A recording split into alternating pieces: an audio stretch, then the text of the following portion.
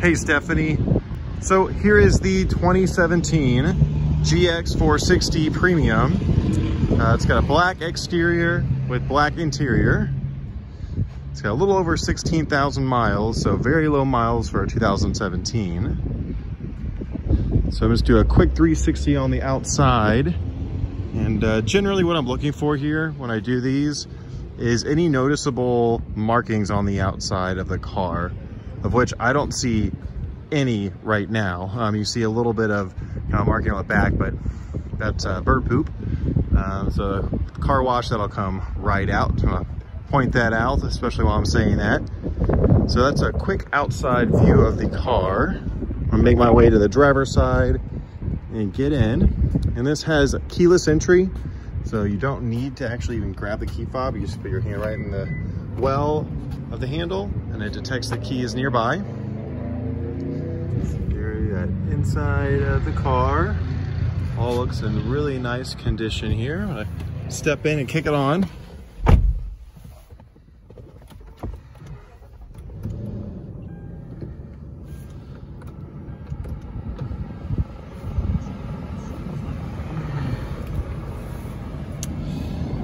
I'm just gonna go over a few items in the car.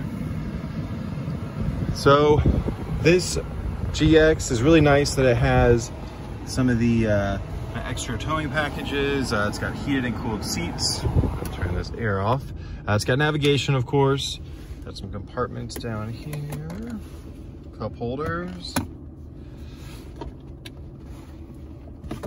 And these come forward. It's kind of a, an armrest that comes forward. And here's how you actually open up the console.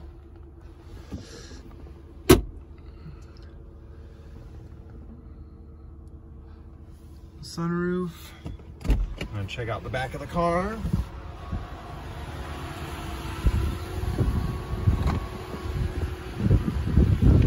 This car also has a third row. I have a separate climate control heated seats also in the back. Third row is not pulled up, but what I'll do is go around the back and show it. These cars, trunks open up from the side.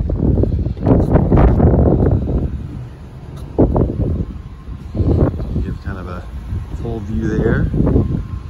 And here is the third row. So I'll just pull one seat up kind of demonstrate. So there's the third row seat and the headrest of course is still down. The bottom of it is.